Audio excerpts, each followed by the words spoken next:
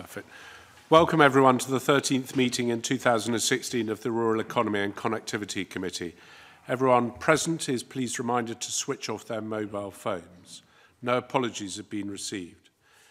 Agenda item 1. The first item today is to seek the agreement of the committee to consider agenda item 4, its approach to the Scottish Government's draft climate change plan, RPP3, And item five, the appointment of the Tenant Farm Commissioner in private. Are we all agreed? Yes. John, you're...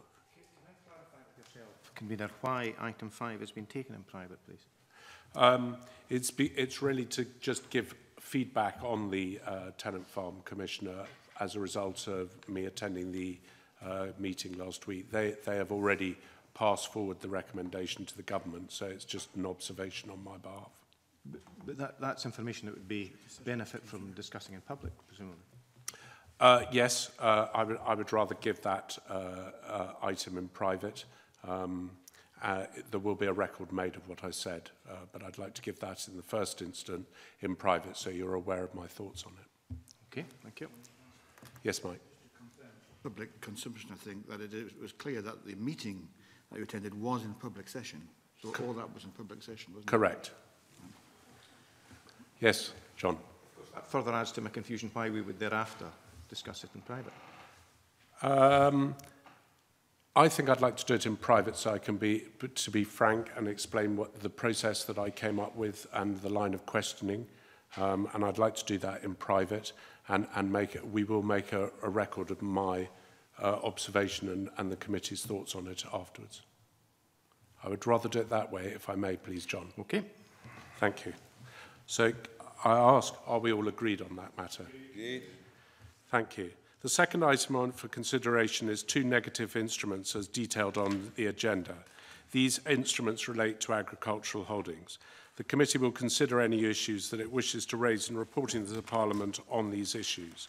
Members should that note that no motions to annul have been received in relation to these instruments. Are there any comments from members relating to these instruments? I note there are no comments uh, uh, received. So therefore, is the committee agreed that it does not wish to make any recommendation in relation to these instruments? Yes.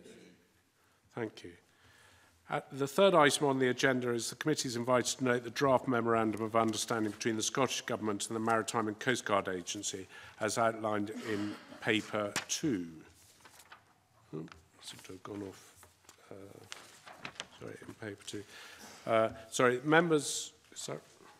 Sorry. Members should be aware that since the paper was issued, it's emerged there have been no requirement for the committee to report the MOU to the Parliament and for the Parliament to formally approve it. The Parliamentary Bureau, Bureau has therefore referred the document to the committee for note only. This is because the Scottish Parliament is not named as a party to the document. Members will note that the Memorandum of Understanding states that the Maritime and Coast Guard Agency accounts and annual report will be shared with Transport Scotland, enabling them to be laid before the Scottish Parliament. Also, if required to do so, the Maritime and Coast Guard Agency will submit relevant reports to and appropriate officials will appear before the Committee of the Scottish Parliament regarding the exercise and functions relating to the Coast Guard and the safety of ships and seafarers in Scotland. I would invite any comments from members on the committee on the Memorandum of Understanding. We have two uh, We have, well, we have more than two. Uh, Stuart, if you'd like to start, please. Um, the, it, it's just a technical point that I don't think should lead us to take any action, but it'd be useful to put on the record. Uh, at 3.2, uh, Scotland is defined as uh, being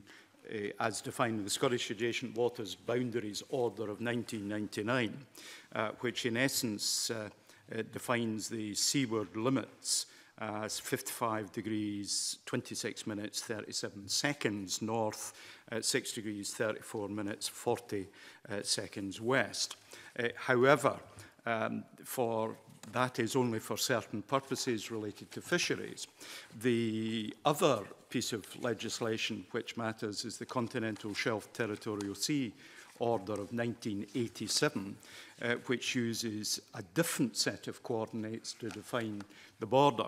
So there is an area of, and this is my approximation, 6,000 square miles, which for purposes of fishing uh, is uh, not in Scottish waters, but for the purposes of exploitation of oil and gas is in Scottish waters for the legal purposes. Now, it's worth making the point that the excluded area related to in the Memorandum of Understanding is not an area in relation to the oil and gas uh, uh, law that would be applied by Scottish law enforcement agencies and courts is not an area where we have legislative competence in this Parliament and therefore it's proper. We merely note that difference. I personally would have preferred to see the memorandum of understanding, which is no legal force, but represents something serious, uh, to, to talk uh, about the 1987 order. But having made that point, I don't propose the committee responds to it in any way whatsoever. Uh, your point is made. Uh, sorry, was John, were you... Yes. It was just, in light of your opening remarks, it was just to clarify, I mean, we've been, it says here in the paper, the action The committee is invited to consider whether it is content to recommend that the Parliament approve the MOU. Is that actually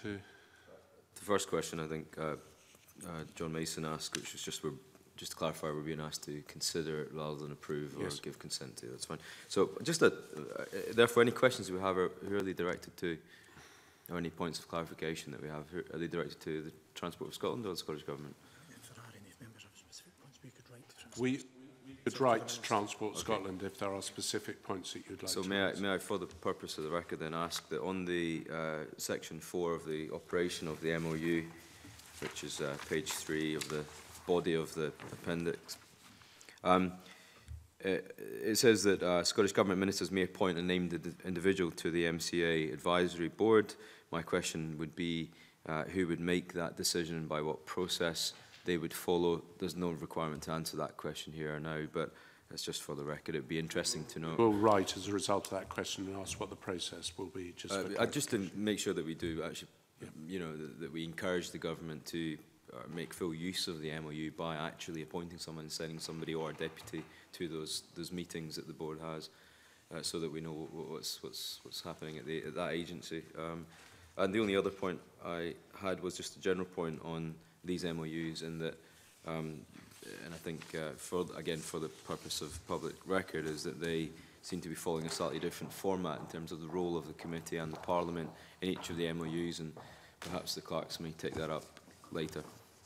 Okay, um, I'm, I, that, that is definitely noted. Uh, Rhoda? Um, on um, the appointment of the person to the board.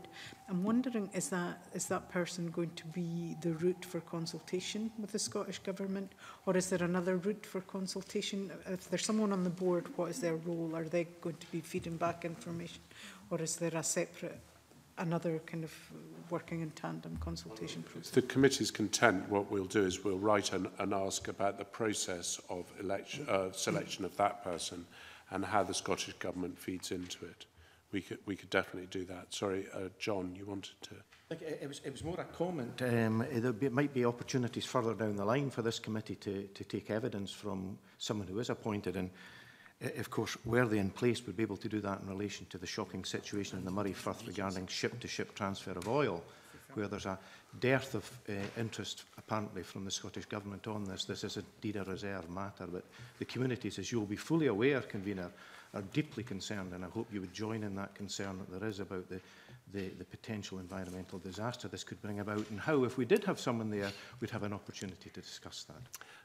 Thank you, John, for, for that very uh, good constituency point that you raised. And I, I will try, if I may, to say that uh, it's not for me to answer that here, um, but I, I think the process and how the Coast Guard Agency feeds back to the Scottish Parliament and the Scottish Government is a thing that we can raise with, with the government. Mm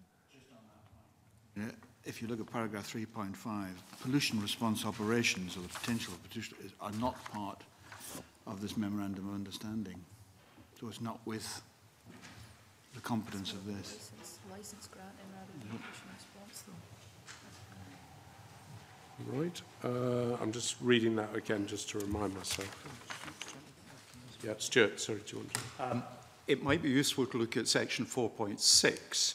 If required to do so, the MCA would submit relevant reports to and yep. appropriate officials would appear before the committees of the Scottish Parliament regarding the exercise of functions related to the Coast Guard. So that seems all encompassing uh, and the safety of ships and sea, seafarers in Scotland. And I think that ultimately would be quite a useful thing for us to bear in mind here forth. I, th I think the sorry just before you come back in I think the point is is is that once this person is appointed it is very clear that we can ask them to come to the committee and if it's the committee's wish to ask them to come then then we will make I will make every step to ensure that happens. Sorry, John, you want to come It was back. just to pick up on, on, on Mike's point there. Um, of course, there'll be consultation on strategic, strategic priorities and what would be more strategic than um, protecting the Highlands and Islands main industry, which is tourism and our environment. So um, I would suggest we need to be ambitious.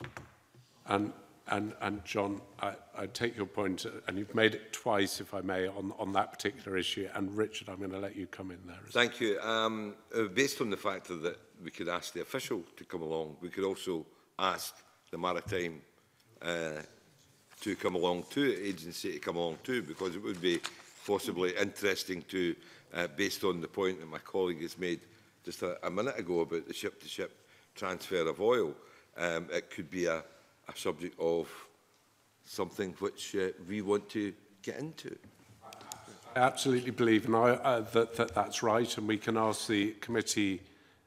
uh, the committee can ask, if they so want, that, that, the Coast Guard Agency come along and also the person appointed by the Scottish Minister. So rather than uh, delay this, as we're being asked to note it, is the committee happy that we write and ask for the process for selecting the person to go on to the uh, uh, agent or represent the agency Fiona, that we be notified of who is appointed in due course. Okay, and that we be notified and at the appropriate time look for somebody to come to the committee to explain the work that's going on.